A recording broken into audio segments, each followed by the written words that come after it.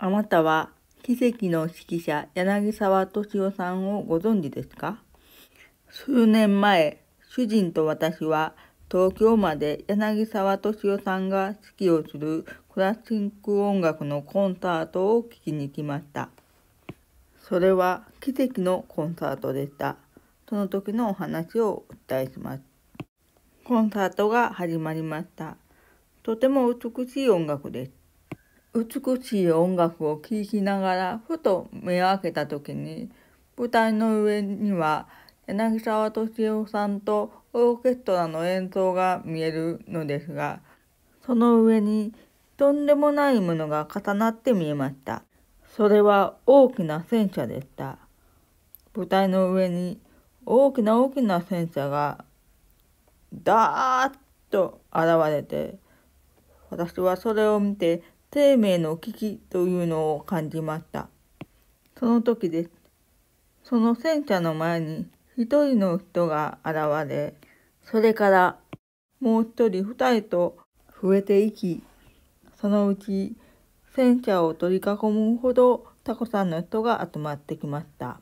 それを見ていて思ったのは、命を脅かすほど恐ろしい戦車に立ち向かい、乗り越えていき、そして平和を作っていくんだと思いました。どんなに止めても家族や友人が内戦に参加していったり、そうでなくても巻き込まれたりして、多くの命が奪われたでしょう。それを目の当たりにして柳沢敏夫さんは音楽の力で平和を作るという活動をされるようになりました。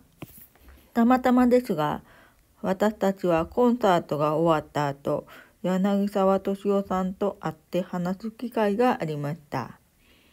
主人は柳沢敏夫さんと音楽の話をしました。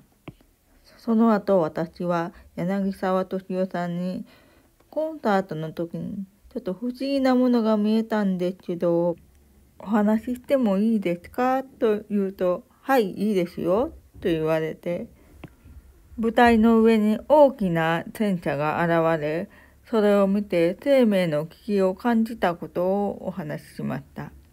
すると柳沢敏夫さんは、そうでしょうね。そうだと思います。と答えてくださいました。え？と私は尋ねると柳沢敏夫さんは言いました。今でこそ内乱は落ち着いていますがコソボで戦闘が使った時団員の方々はみんな隠れて楽器の練習をしていたということです。その練習も音を鳴らすわけにはいかない。音を鳴らったらそこに隠れているということが分かり殺されてしまうというのです。ですから楽器に手を持っていっても押したり息を吹いたりできない音を鳴らしてはいけない音を鳴っているイメージをするだけという練習をしていたという話です。それを聞いて私は「え？そんな危険な状態でも楽器を練習していたのですか？音楽を諦めなかったのですか？はいそうなんです。命が危ない時なのにそれでも物陰に隠れて練習していたということです。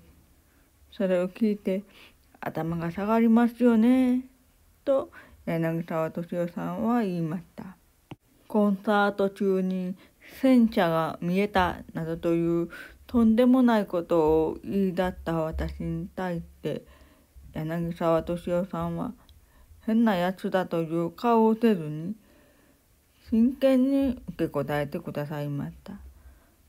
そしてそして音楽の力で平和を作っていくという活動をされているその真剣な熱い心が伝わっていました。